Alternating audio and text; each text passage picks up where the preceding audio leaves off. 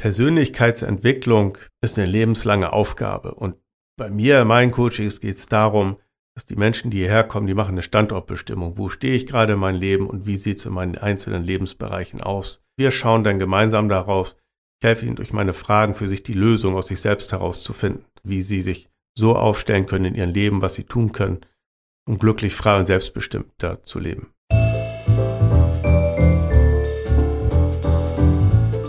Wellness Podcast. Be well and enjoy.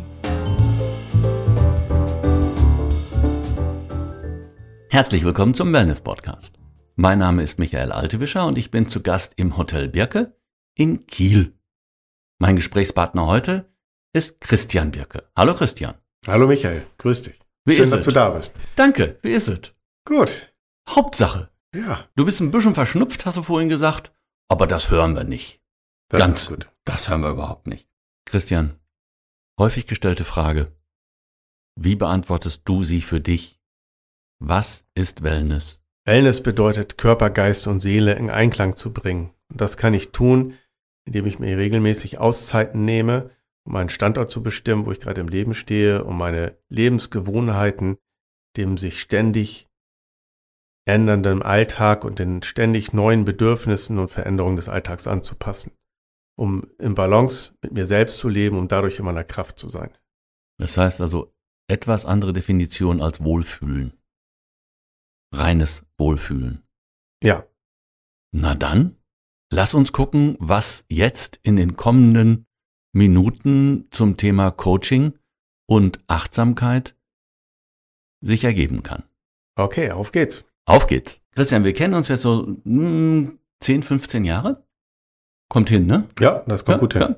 In dieser Zeit hast du eine echt coole Entwicklung genommen als Mensch, hast dich umorientiert und hast Dinge gemacht, die nicht ganz so einfach sind. Aber der Reihe nach. Du bist nicht nur gelernter Hotelier, sondern inzwischen auch vor allem Lebensstilcoach. Ist das richtig, was ich sage?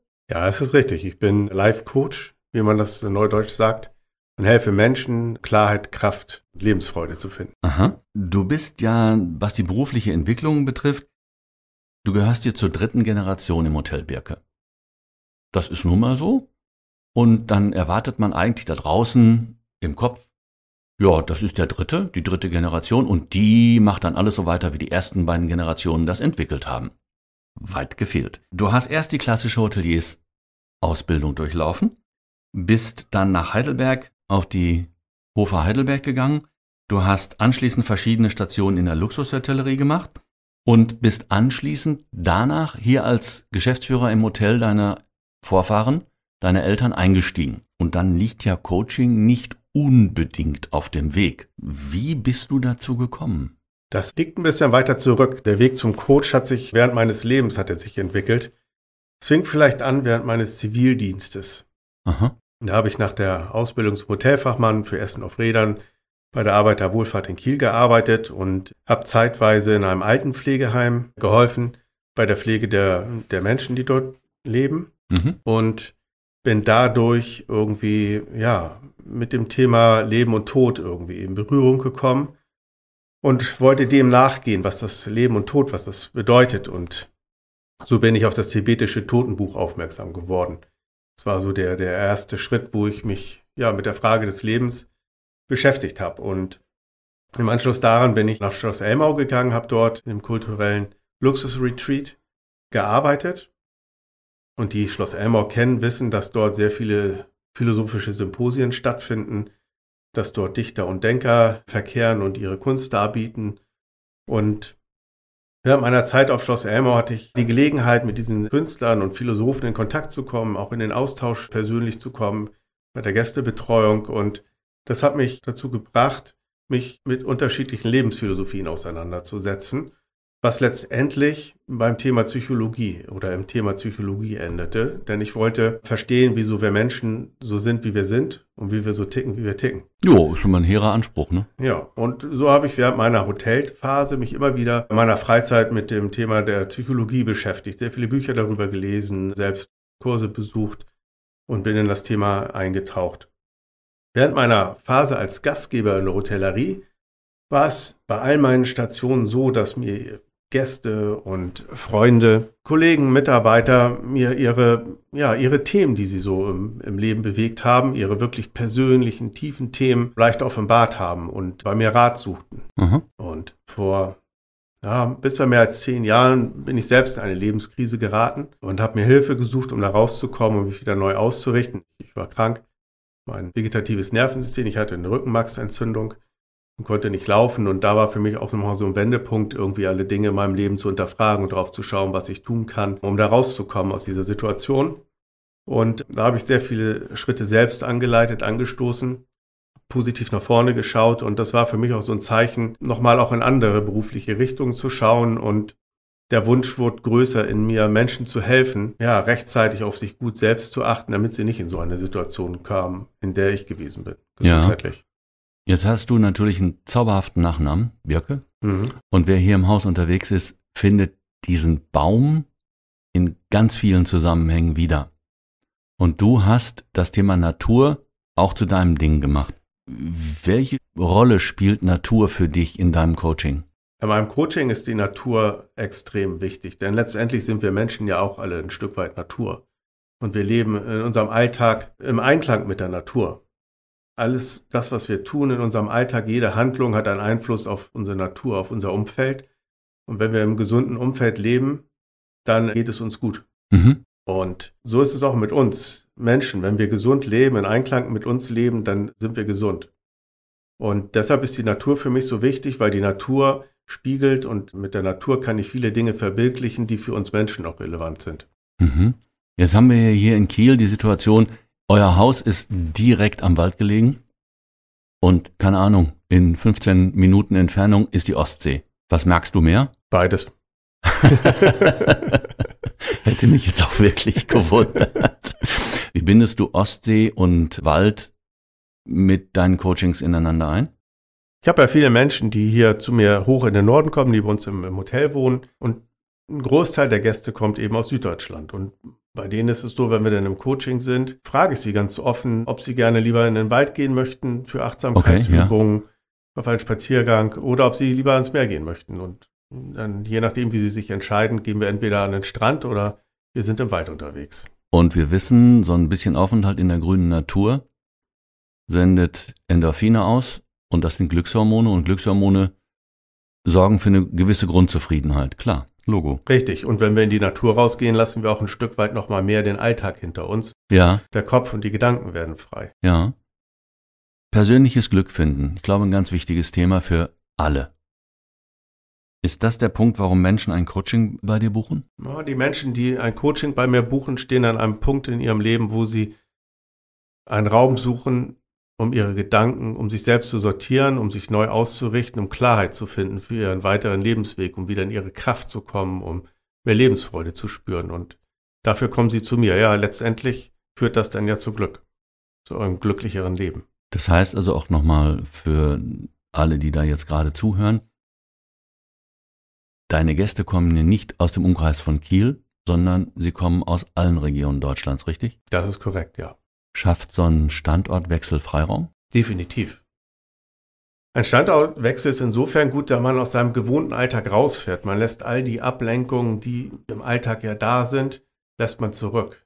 Ja. Man fährt raus, man kommt hierher, man geht auf eine Reise, auf eine Reise hier hoch zu uns in den Norden und man betritt einen neuen, einen geschützten Raum, einen Raum der Offenheit, einen positiven Raum, wo man so sein kann, wie man ist. Schönes Bild, ja. Und für wen sind deine Coachings geeignet? Meine Coachings sind geeignet für Menschen, die, die was verändern möchten in ihrem Leben, die weiterschauen wollen.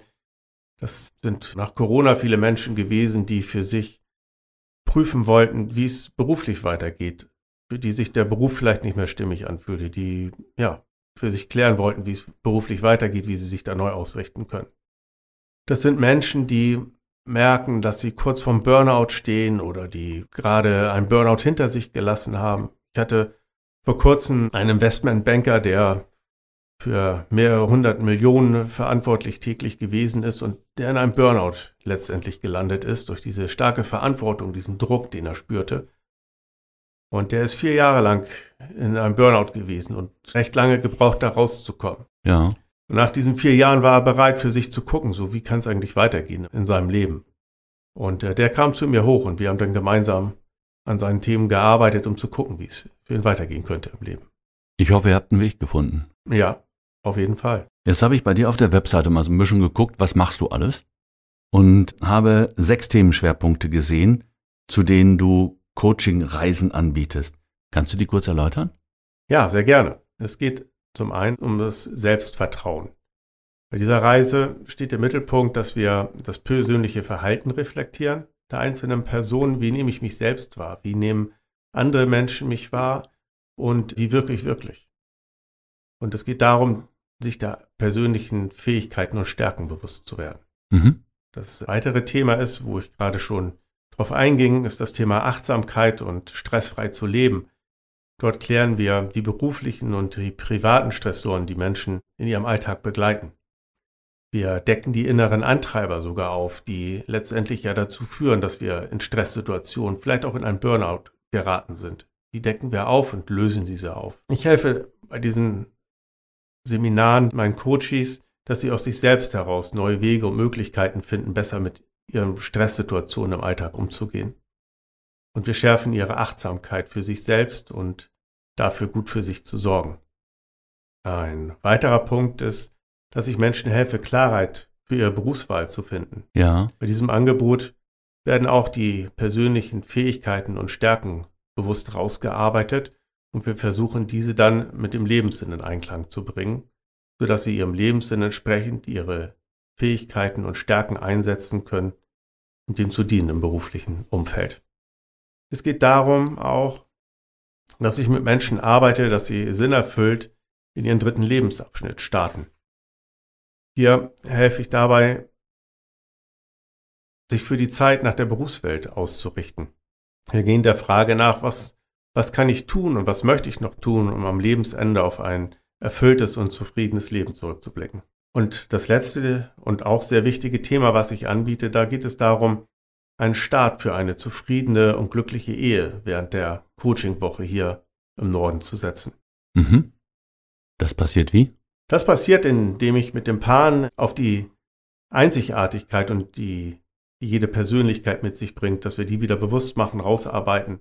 Wir schauen auf die persönlichen Fähigkeiten und Stärken, die jeder Einzelne in sich trägt und die er gerne in die, in die Partnerschaft mit einbringen möchte. Ja. Wir schauen auf die geheimen Sprachen der Liebe. Was ist notwendig, damit ich mich geliebt fühle von meinem Partner? Das arbeiten wir raus, dass sich beide Partner da besser aufeinander einstellen können. Das ist in etwa so, wenn der eine Deutsch spricht und der andere nur Chinesisch versteht, dann funktioniert es auch nicht. Und so ist es mit den Sprachen der Liebe. Wenn wir uns derer bewusst sind, können wir auch besser miteinander kommunizieren und uns geliebt fühlen in unserer Partnerschaft. Mhm. Du hast vorhin das Thema Werte angesprochen. Für alle, die sich da jetzt im Moment nicht so richtig was drunter vorstellen können, was bezeichnest du als Werte und welche Rolle spielen diese in unserem Leben? Ja, Werte haben ja immer sehr stark mit Bewerten zu tun. Unsere Werte sind die Grundlage für unsere Entscheidungen. Das sind eigentlich unsere wahren Chefs. Mhm. Und Werte werden. Treiber, kann man das sagen? Oh, nicht unbedingt Treiber. Treiber sind unbewusste Glaubenssätze. Werte sind die Basis für unsere Entscheidung, warum wir eine Entscheidung treffen. Okay. Und sie geben uns Orientierung in unseren Entscheidungen, die wir im Alltag treffen. Sie geben Gruppen und Gesellschaften auch Orientierung und sind deshalb von enormer Bedeutung.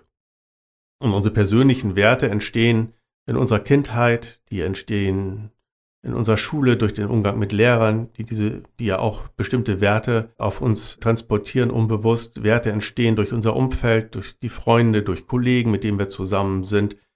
Und gerade heutzutage werden unsere Werte ja auch ganz maßgeblich durch die Medien beeinflusst, in positiver und auch in negativer Weise. Und deshalb ist das Thema Werte für mich auch so extrem wichtig, sich seiner eigenen persönlichen Werte immer wieder bewusst zu werden. Oftmals leben wir ja Werte, das gar nicht unsere eigenen persönlichen Werte sind, aber wir leben sie, weil wir das so gelernt haben. Mhm. Und in meinen Coachings schaue ich immer grundsätzlich auf die Werte, um zu prüfen, sind das wirklich meine Werte, mit denen ich mich identifiziere und die dazu beitragen, dass ich ein glückliches Leben führen kann. Oder lebe ich die Werte der anderen? Kann das ihm mit dem Kompass verglichen werden? Genau. Die Werte sind unser innerer Kompass, der uns hilft, die richtigen Entscheidungen zu treffen, Entscheidungen, die für uns gut sind und für unser Leben. Mhm, das heißt also, zwischenzeitlich kann ich den Kompass auch mal neu kalibrieren. Auf jeden Fall, ja. Okay. Wenn wir die Überschrift nehmen würden, aktuelle Lebensthemen klären, hast du Beispiele dafür? Ja, da habe ich Beispiele für. Ich habe einige Manager oder Vorstände, die seit Jahren regelmäßig zu mir einmal im Monat kommen zum Coaching, um die Themen, die sie gerade beschäftigen, um die in einem geschützten Raum auf Augenhöhe einfach zu reflektieren und darüber zu sprechen. Denen ja. tut es einfach gut, ihre Dinge mal loszuwerden, weil sie vielleicht in der Position, in der sie sind, nicht die Freunde und die Zeit haben, sich mit denen auszutauschen. Aktuelle Lebensthemen können sein, vor kurzem hatte ich eine Dame aus Süddeutschland bei mir zu Besuch, die hier oben gewesen ist, weil sie in einer tiefen Lebenskrise war.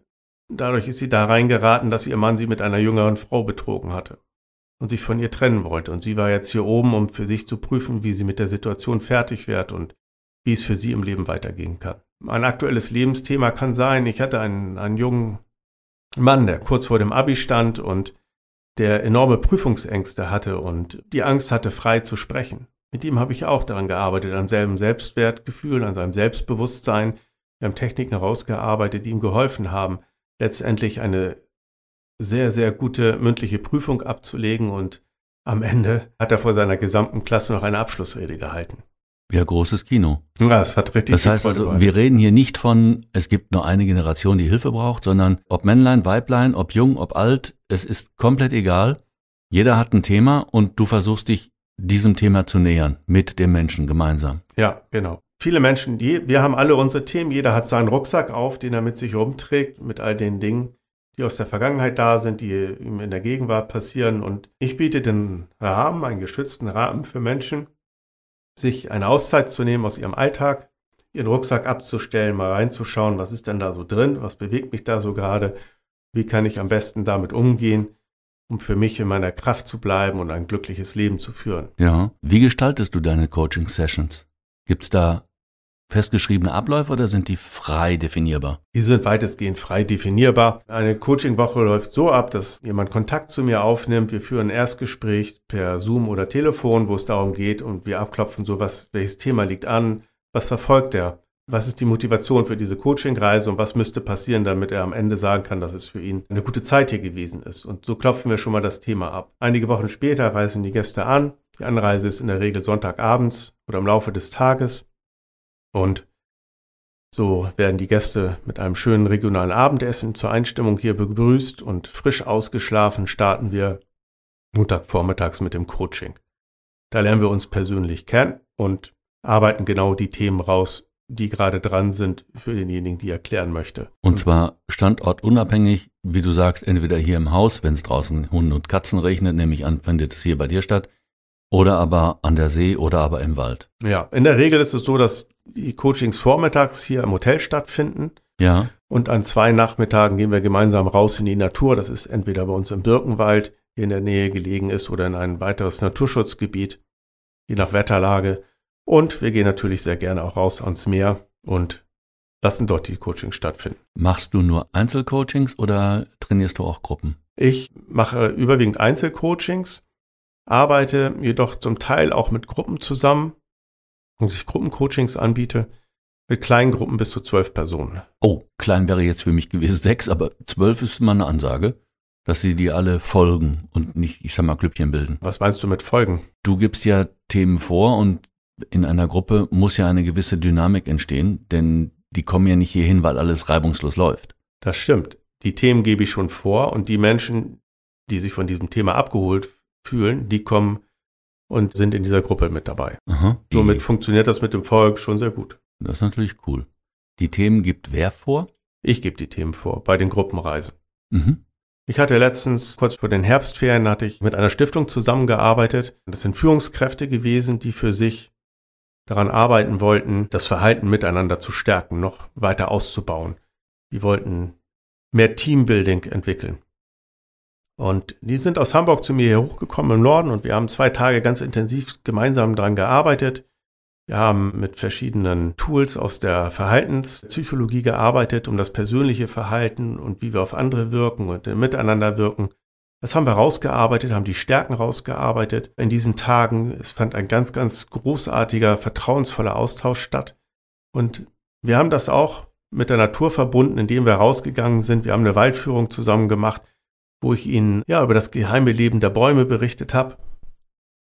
Und wir sind mit den Kanus draußen unterwegs gewesen auf dem alten Eiderkanal und haben dort auf den Kanus Achtsamkeitsübungen gemacht und Übungen, die einfach das Miteinander schärfen und verdeutlicht haben, wie wir aufeinander angewiesen sind und wie wichtig es ist, auf Augenhöhe gemeinsam ein Ziel zu verfolgen. Aha.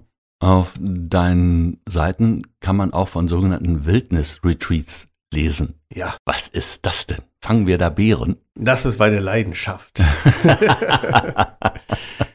ja, bei einer Reise sind wir zwar auf dem Bärenpfad unterwegs, aber wir fangen keine Bären, die sind dann im Winterschlaf. Die Reisen finden in Finnland statt. Dort treffe ich mich mit Gruppen, kleinen Gruppen dort oben. Das sind dann wirklich kleine Gruppen bis zu sechs Personen wo wir auf einer Husky-Farm uns treffen. An den ersten zwei Tagen findet dort das äh, Kennenlernen der Huskies statt und die Teilnehmer werden darin trainiert und, und lernen, wie sie selbst eigenverantwortlich einen Hundeschlitten mit fünf bis sechs Huskies steuern. Ja. Und nach diesen Tagen fahren wir drei Nächte mit diesen Hundeschlitten durch die Wildnis und übernachten in kleinen Wildnishütten ohne Strom und ohne fließend Wasser. Das wird dann aus der Pumpe geholt und alle Mahlzeiten werden auf dem Lagerfeuer zubereitet. So sind wir dann diese Tage in der Wildnis unterwegs und während dieser Ausfahrten wird viel meditiert. Wir gehen viel in die Stille, in die Ruhe, in die Selbstreflexion und es gibt täglich einen Input von mir zu den unterschiedlichen Lebensbereichen, in denen wir unterwegs sind, wo jeder für sich reflektieren kann, wie es in diesem Bereich geht und was er tun kann, um weiterzukommen, zu wachsen. Wir sind im Sommer in Schweden unterwegs mit Kanus. Da kommt ein Wildnisguide zu uns ins Team, der sich in den ja, schwedischen Seenlandschaften sehr, sehr gut auskennt in der Wildnis. Dort sind wir auch wieder mit Kanus unterwegs und kochen am Lagerfeuer, sind einfach draußen und kappen die Nabelschnüre zur Außenwelt, zur Technik. Wir sind dort komplett ohne Handys, ohne Telefone also ohne Fotoapparate, ohne Kameras unterwegs. Dann erklär mir doch mal deine Social Media Posts mit Eisbaden. Mit Eisbaden. Die finden hier in Kiel statt. Ah, okay. Und das ist meine große Leidenschaft, immer täglich raus aus der Komfortzone zu gehen. Okay. Und was Gutes zu tun für mich und meine Gesundheit. Kann man auch so machen, ja. Ja. da hast du recht. Etwas verändern, das kann zunächst ja auch erstmal abschrecken. Weil, wie du richtig sagst, ich muss aus meiner Komfortzone raus geht es meistens darum, sein ganzes Leben umzukrempeln in den Coachings mit dir oder reicht bei dem einen oder anderen auch der eine oder andere kleinere Schritt? Ja, es geht niemals darum, das ganze Leben komplett umzukrempeln, weil das ist von heute auf morgen irgendwie nicht möglich. Ich verspreche meinen Coaches nicht, dass wenn sie zu mir kommen, dass sie nach dieser Woche irgendwie plötzlich ein komplett neues Leben führen. Das, ja. Diese Versprechung mache ich nicht, weil das funktioniert nicht. Persönlichkeitsentwicklung ist eine lebenslange Aufgabe und bei mir, in meinen Coachings geht es darum, dass die Menschen, die hierher kommen, die machen eine Standortbestimmung. Wo stehe ich gerade in meinem Leben und wie sieht es in meinen einzelnen Lebensbereichen aus? Viele haben auch schon diese Standortbestimmung im Vorwege gemacht und in jedem Lebensbereich läuft es gerade nicht so gut. Und wir schauen dann gemeinsam darauf, ich helfe ihnen durch meine Fragen für sich die Lösung aus sich selbst herauszufinden, die Antworten zu finden, wie sie sich so aufstellen können in ihrem Leben, was sie tun können, um glücklich, frei und selbstbestimmter zu leben. Mhm. Das kann man sich in etwa so vorstellen. Wenn ich jetzt eine große Eiche habe und ich nehme eine Axt, dann schaffe ich das nicht, so eine Eiche von zwei Meter Durchmesser an einem Tag zu fällen. Aber wenn ich jetzt diese Axt nehme und ich schlage jeden Tag drei Schläge in die gleiche Kerbe rein, dann kriege ich die dickste Eiche gefällt.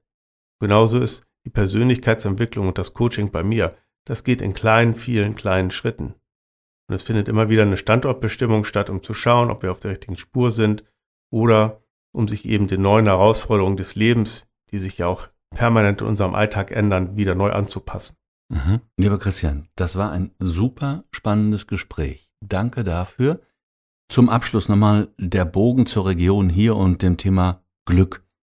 Hast du einen Tipp für die Zuhörerinnen und Zuhörer, was man auch im Alltag aktiv für ein glückliches Leben tun kann? Ja, da habe ich eine ganz einfache Übung, die jeder sofort umsetzen kann. Und zwar geht es darum, sich morgens nach dem Aufstehen fünf Minuten einfach in eine gemütliche Position hinzusetzen und sich einfach auf seine Atmung zu fokussieren, auf das Ein- und Ausatmen. Einfach fünf Minuten im Hier und Jetzt sein. Und sich im Anschluss die Frage stellen, was kann ich heute tun, damit es ein guter Tag wird? Und welche sind die drei Dinge, für die ich glücklich bin und dankbar bin, dass sie in meinem Leben sind? Wer das morgens vielleicht nicht schafft, weil er gerne ein bisschen länger schläft, der kann das gerne abends tun, dass er vorm zu Bett gehen sich fünf Minuten einfach in Stille hinsetzt und für sich seinen Tag reflektiert und sich die Dinge bewusst macht, für die er dankbar ist, dass sie in seinem Leben sind. Oder für die Dinge, die am Tag passiert sind. Genau. Das klingt einfach, ist aber eine Herausforderung. Weil wir sind ja doch häufiger problembehaftet, gerade jetzt im Moment nach Corona mit Energiekrise und allem, was dazugehört. Aus dieser Schleife rauszukommen, ist eine Herausforderung. Ja, und das kannst du tun, indem du dir halt die Dinge vor Augen führst. Und wenn es noch so kleine Kleinigkeiten des Alltags sind, für die du dankbar bist, dass sie in deinem Leben sind. Ja. So kannst du automatisch den Fokus von den vielen negativen Nachrichten, die im Außen auf uns einprasseln während des ganzen Tages, kannst du sofort den Fokus wegrichten auf das Positive. Und wenn du mit dem positiven Gedanken abends ins Bett gehst, schläfst du auch gut.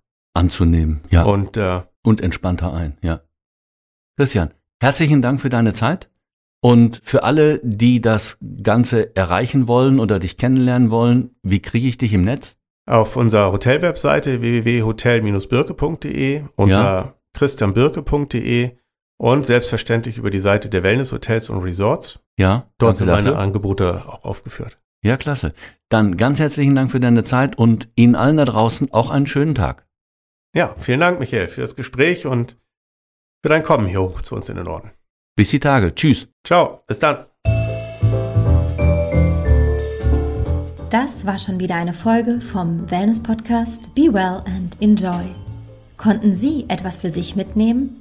Dann lassen Sie uns das gerne in den Kommentaren wissen. Wenn Ihnen die Folge gefallen hat, freuen wir uns außerdem über eine positive Bewertung. Und abonnieren Sie den Wellness Podcast am besten jetzt, falls Sie es noch nicht getan haben. So verpassen Sie keine Folge mehr.